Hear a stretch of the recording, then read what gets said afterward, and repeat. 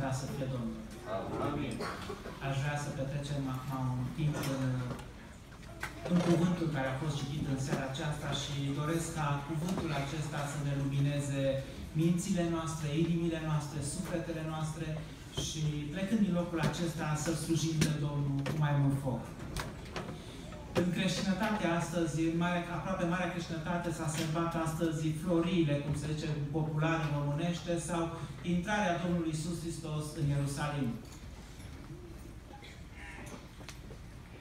În seara aceasta voi vorbi despre intrarea Domnului Isus Hristos în templu.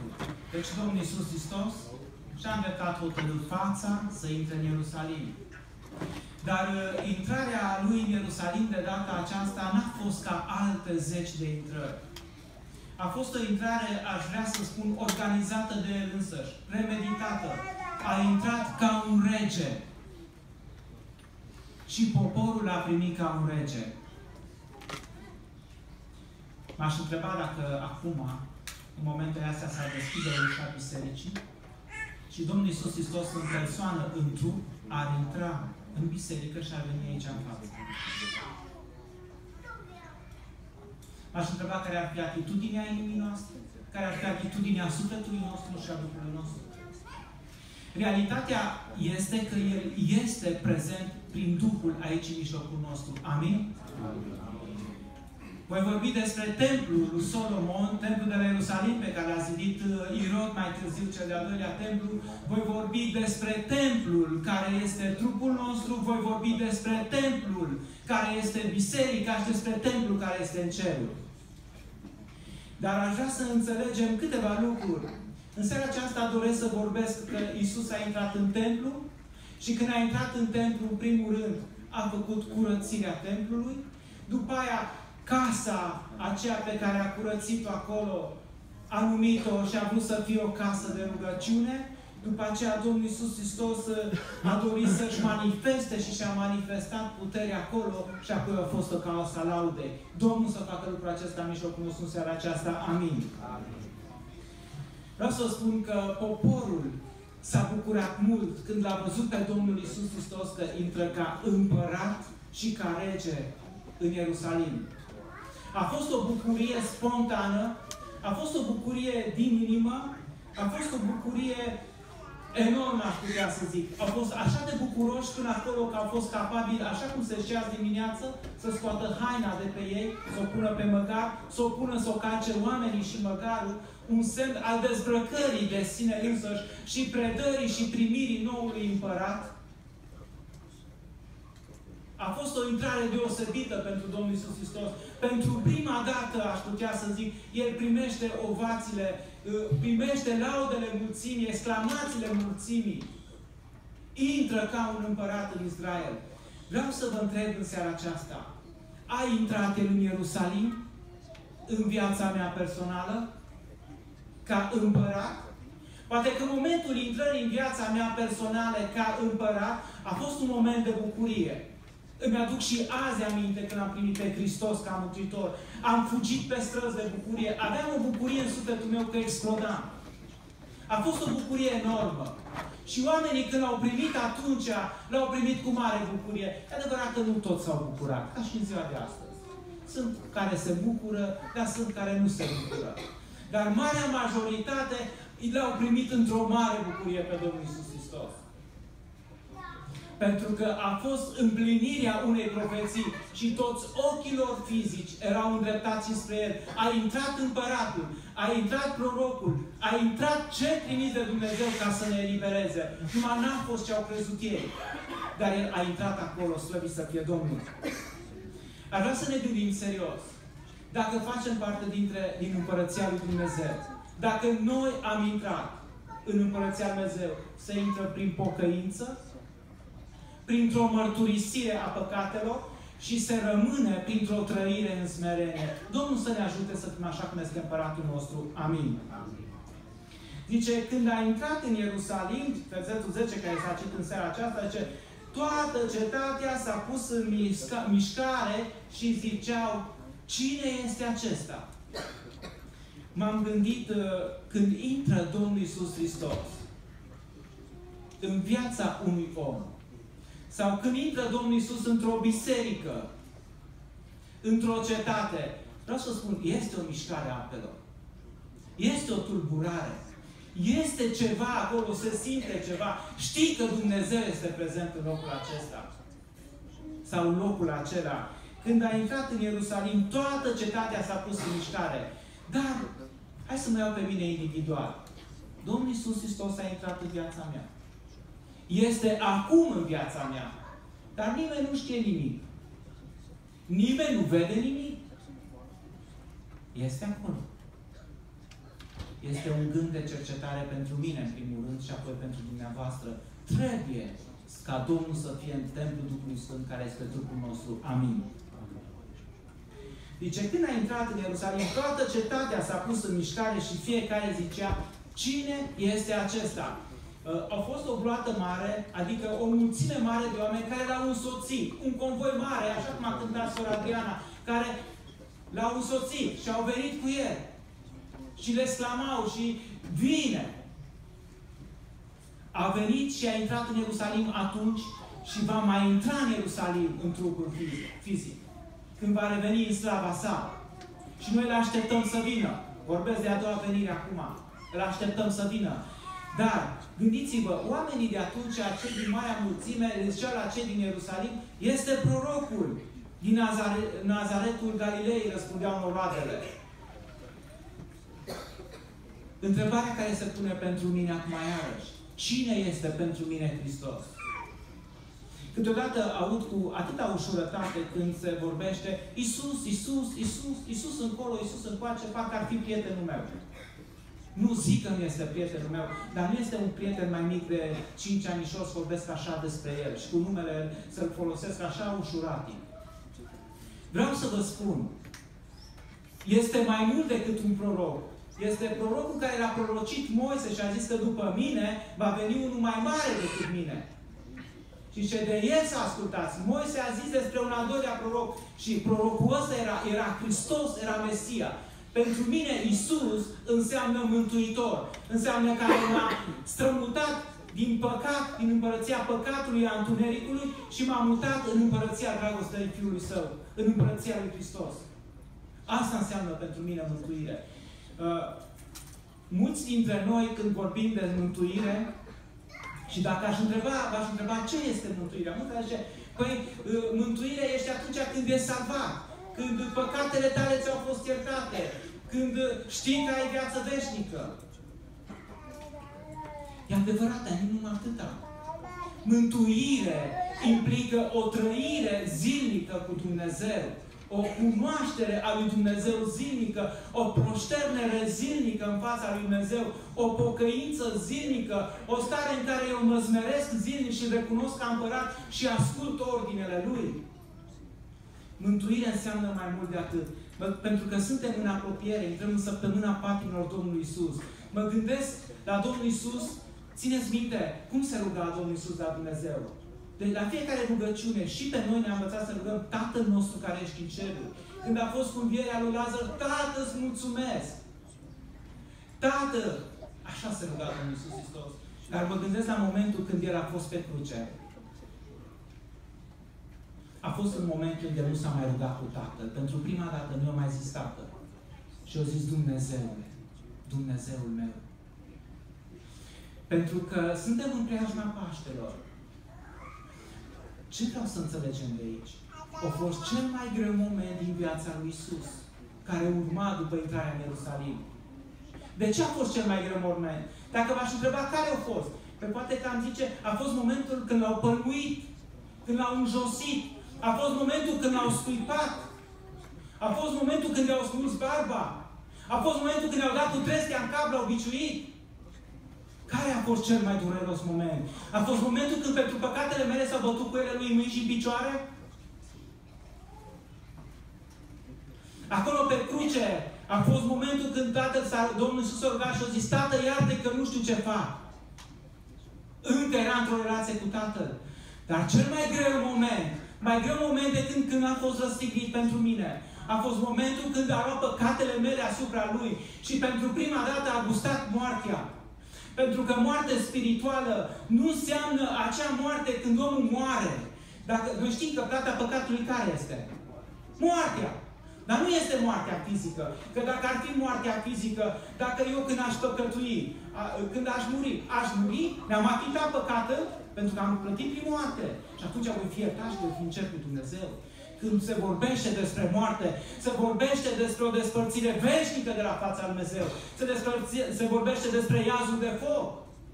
Domnul Iisus Hristos, când era pe cruce, are trei ore de întuneric, când a luat păcatele mele asupra Lui, a zis, Dumnezeul meu, pentru ce m-ai părăsit?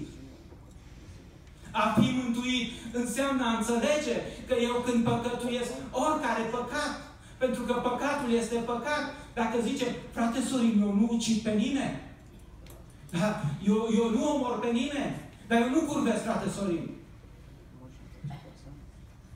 Poate că aș putea să citesc din uh, uh, Filipeni, zice Pavel către frați, să nu fiți scârtitori, să nu fiți nemulțumitori. Vreau să vă întreb, este un îndemn sau este o poruncă?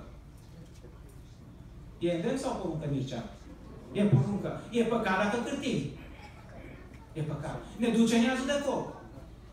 Frații mei, de aceea trebuie să fim foarte vigilenți. Trebuie să fim foarte atenți cu felul nostru de a fi.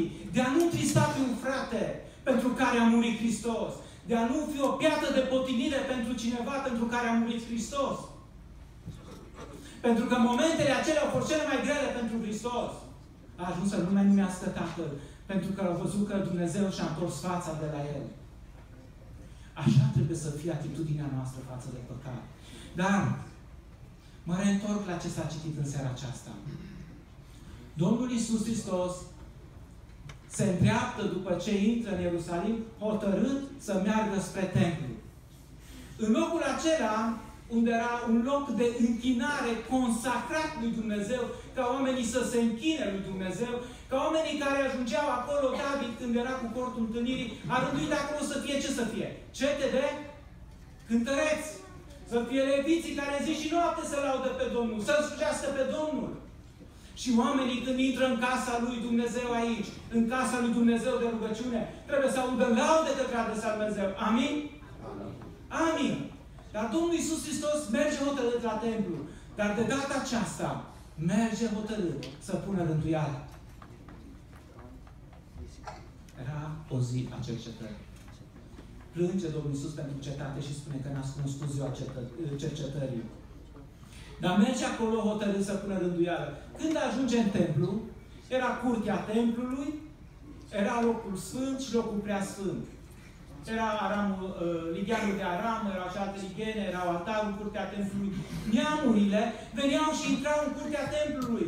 Veneau prozenițe departe. Citim în faptele apostol despre foamenii etiopiani din Etiopia au venit acolo. Și mulți erau la, la păgărea Duhului Sfânt, spune, Vespa, Jelamițe, locutor de Mesopotamia și zice acolo o enumerare întreagă de neamuri. Foarte mulți oameni erau acolo. Și când ajung în templu, ce găsesc? Aici spune Domnul Iisus că Iisus a intrat în Templul Dumnezeu, a dat afară pe cei ce vindeau și cumpărau în templu. Vindeau și cumpărau. Erau oameni care schimbau bani. De ce schimbau bani? Era moneda romană cu chipul cezarului. Și o, oh, putem să băgăm în templu chipul cezarului. Dar totul era făcut o schimbare la suprapreț. Oamenii te duci sincer la casa Domnului. Hai să transpunem în zilele noastre. Ce că un om vine, un om din lume, sincer aici în casa Domnului. Și vede că cineva vrea să facă șpagă cu el. Vrea să profite de el. Omul ăla se depărtează și nu mai vine în la noi. Uh, oamenii care veneau acolo la templu, ce găseau? Să citim în Ioan. În Ioan, capitolul 2. Ioan consideră că descrie cel mai clar care era atitudinea acolo în curtea templului. Ioan capitolul 2 și zice versetul 14. În templu a găsit pe cei ce vindeau oi, boi și porumbei și pe schimbătorii uh, și pe schimbători de bani și zâmbători. Ce a găsit acolo? O mulțime de oi, miei, boi, porumbeli. Gândiți-vă cum miroase în curtea templului. Mă gândesc acum numai la miros. Oi, boi, oi, porumbei și de tot, tot felul de animale acolo care urmau să fie jertfite. Ar fi trebuit să găsească cântece, cântări de laudă. Au găsit cu totul altceva. Dar toate erau justificate de farisei și de preoți. Toate erau justificate. Ce au găsit acolo? Domnul Iisus Hristos vreau să vă spun. Odată ce îl primești în Ierusalimul ilimitare, ca Domn și Mântuitor, El vrea să facă curățenie. Poate că noi am sărit etapele. Dar primul lucru care dorește Dumnezeu în viața unui credincios este să facă curățenie. Frații mei, revin la ce am zis mai înainte. Orice păcat, poate că considerăm, frate, dar nu e așa grav. E păcat, știu. Așa sunt eu. N-am ce face. Nu, frate. Domnul Iisus Hristos a venit cu o putere de transformare. A venit cu o putere de mântuire. A venit cu o putere de schimbare. Smerește-te, caută fața Domnului, cere Duhul Sfânt. Dumnezeu te botează, te umple, îți dă biruința asupra păcatului, slăvit să fie Domnul. Dar mărturisește-te, curățește-te, cheamă frați care să te ajute în lucrarea aceasta, dacă nu poți singur, dacă nu ești capabil. Cheamă pe Dumnezeu. Dumnezeu te ajută. E promisiunea lui Dumnezeu. Dumnezeu niciodată nu se dezminte de ce a zis. Lăuda să fie Domnul. A intrat acolo, Ioan zice că a făcut un bici, adică un băț cu niște ștreanguri de fâșii și a început să scoată animalele afară. O scos toate animalele afară. Poate că avem secvențe din filme, că vedem că a intrat, a răsunat niște mese, au făcut o zarvă mare și imediat îl ești afară. Nu s-a întâmplat așa. Eu citesc aici că el a scos afară animalele. Pe cei ce erau acolo cu porumbei, luați astea de aici. Am filmă vedem că dădea drumul la porumbei. Le-au luat, i-a gonit afară pe schimbătorii de bani, în să le răstoarne mesă, strângeți tot de aici. Și s-a făcut curățenie în templu. N-a plecat de acolo până nu s-a făcut curățenie în templu. Pentru că după moartea lui, Domnul Iisus Hristos în Evrei 9 spune că urma să intre într-un alt templu mai mare. Fiți atenți ce spune în Evrei 9. E vorba despre templu din cer. Templu de pe pământ s-a făcut după chipul celui din cer. În Evrei 9 zice cuvântul Domnului în uh, versetul 11. Dar Hristos a venit ca mare preot al bunurilor viitoare, a trecut prin cortul acela, se vorbește de cortul din cer, templul din cer, mai mare și mai desăvârșit, care nu este făcut de mâini, adică nu este din zidirea aceasta, și a intrat odată pentru totdeauna în locul preasfânt. Nu cu sânge de țap și de viței, ci cu un sângele său care a căpătat o răscumpărare veșnică. Amin. Deci Hristos a venit pe pământ, a arătat cum trebuie să fie în Templul Dumnezeu, a curățit templul de aici. Dar ne aducem aminte?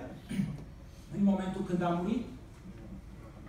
Perdeaua care despărțea locul sfânt de locul prea sfânt sau sfinta sfintelor, cum se numește, s-a rupt în două, de sus până jos, s-a deschis și s-a văzut acolo.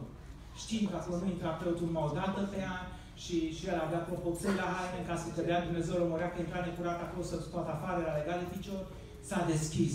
S-a deschis o intrare liberă în templul în care acum Hristos este mare preot în cerul. Slăvit să fie Domnul! Templul acela, după câțiva ani, a fost distrus de romani.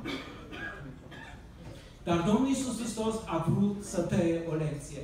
Viața trebuie curățită. Aș vrea să vorbesc nu de templul de la Ierusalim.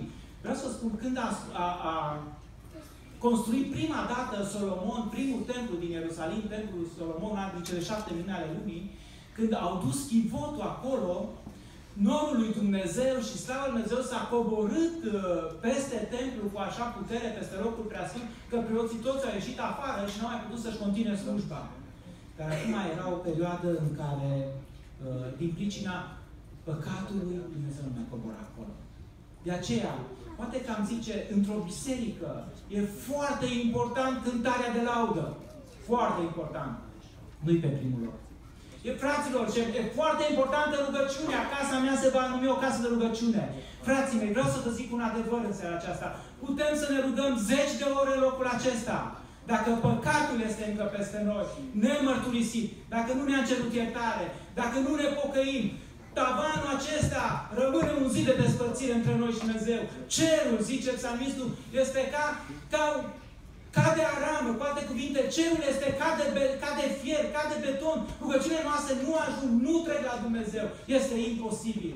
De aceea, prima lucrare din viața unui om, din viața unei biserici, mulțumesc Mircea, care dorește prezența lui Dumnezeu, care dorește lucrarea lui Dumnezeu, care dorește mântuirea, este curățirea. Domnul să ne ajute la lucrul acesta. Modul de vorbire. Când, când vine, hai, înainte să trec la, hai să trec la al doilea templu, să nu fiu pe lung la primul templu, al doilea templu este trupul nostru. 1 Corinteni 6 cu 19. Hai să scriem Biblia acolo ce care avem.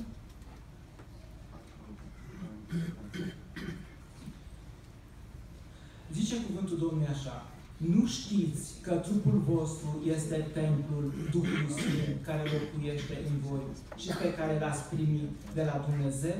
Și că voi nu mai sunteți ai voștri?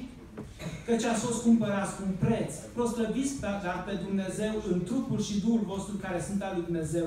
Amin. Frații mei, acum vorbim de un al doilea templu. Nu vorbesc de templul de Ierusalim. Ăla nu mai este acum. Sunt pregătiți de ei să construiască următorul templu, cel de-al treilea. Sunt pregătiți, au materiale pregătite, se va construi. Dar vorbim despre templul trupului nostru. Ce trebuie să vadă un om când te întâlnește? Ce trebuie să audă un om de la mine când mă întâlnește? Discuții despre vreme, cârtire că e prea multă zăpadă, e prea multă ploaie, mai bine vara, uh, despre uh, lucrurile alte, despre lucrurile alte, despre lucrurile alte. Ce trebuie să audă un om când stă în prezența templului meu? Ce trebuie să audă un om când stă în prezența templului tău? În care locuiește Duhul Sfânt, în care locuiește Hristos.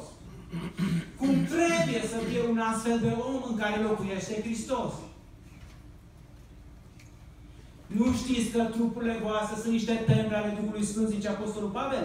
Și mai în față, cu un capitol, în capitolul, de fapt, în capitolul 3, versetul 16.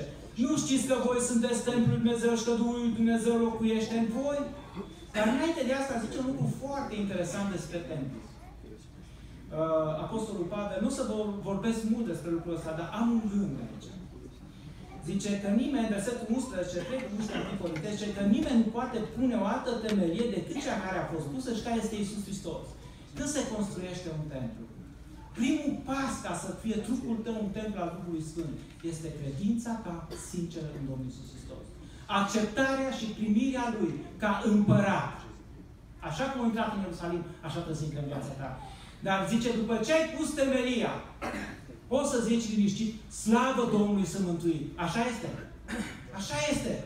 Temelia noastră este Isus Hristos. A vieții noastre credință. Dar, frații mei, s-a terminat tot? Nu. Vedem creștini care sunt numai temelii. Te uiți cu ochii și vezi numai temelii. În orașul ăsta așa se vede. Ieși afară pe stradă și vezi temelie în față, temelie în stânga, poate dacă intri într-un cartier de case noi. Dar dacă, dacă vei trece peste un an, doi ani, nu mai sunt temelii. Dar în viața de credință noi cum suntem? Pentru că zice mai departe Apostolul Pavel că și nimeni nu poate pune o altă temelie decât cea care a fost pusă și care este Isus Hristos. Iar dacă clădește cineva pe această temelie, aur, argint,